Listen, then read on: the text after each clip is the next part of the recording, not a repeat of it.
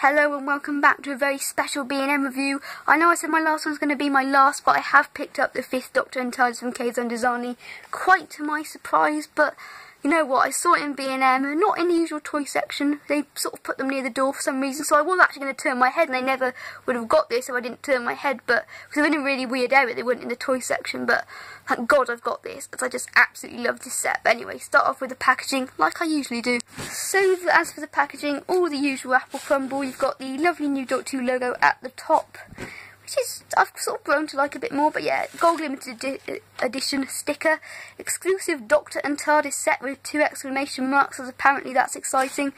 And then on the side you've got with opening doors again. How that is exciting, I don't know.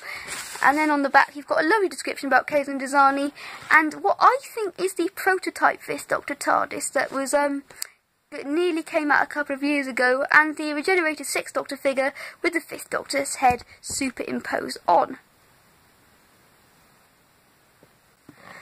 Backdrop is absolutely lovely, really resembling how Androzani Minor looked at the end of Caves of Androzani. Yeah, just a really nice backdrop and great way to display your action figures inside of. So, taking a look at the Fifth Doctor, he isn't anything that special. The mud has been put on quite badly, and they've got this really weird finger splodge thing, which doesn't really resemble mud at all.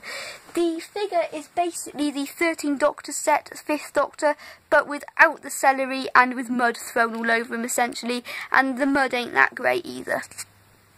So despite the disappointment in the Fifth Doctor figure, the TARDIS more than makes up for it. Because my god, I love this TARDIS. I never thought I would be able to get a stacked roof TARDIS, as originally they were just so hard to get, the First and Seventh Doctor's TARDIS. I believe this one is based on the First Doctor's because it doesn't have the um, little pull to open handle thing. But yeah, I just I just love this TARDIS. It's also got a new base as well, which is much thinner, and yeah, and this was less sticky than they usually are. This is, feels much nicer, which is a really nice thing. It's usually got a sticky feel, but still quite sticky, but mine isn't that bad. So I don't know if it's just mine, or whether it's all of them, but whatever it is, I don't really care as this TARDIS is possibly one of my favourite TARDIS, if not my favourite in my collection. The only one that I think is slightly better than this is the 12th Doctor's TARDIS, but I just so love this TARDIS. It is amazing. So that is all for today's review of this lovely set. So what would I rate it out of 10? About an 8.5 or a 9 out of 10. Really interesting looking Fifth Doctor, not that accurate. And an amazing looking TARDIS with a beautiful backdrop and really nice looking packaging. So yeah, that's pretty much everything I need to say. Thank you for watching. Like, comment and subscribe and silence in the library.